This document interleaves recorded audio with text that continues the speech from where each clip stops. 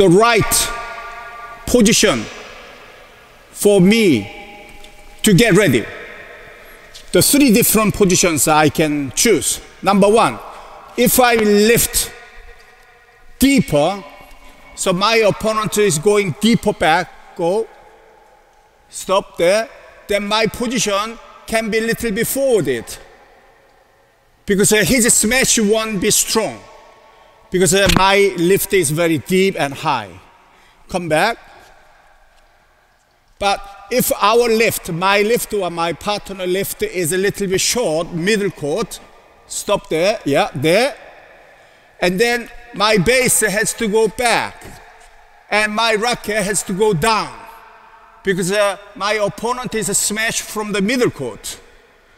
So my racket should go lower, prepare the possible direction of smash.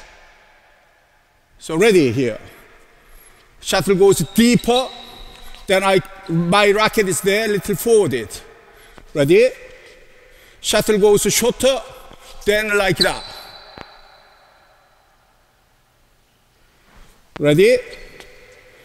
Shuttle goes middle, about here.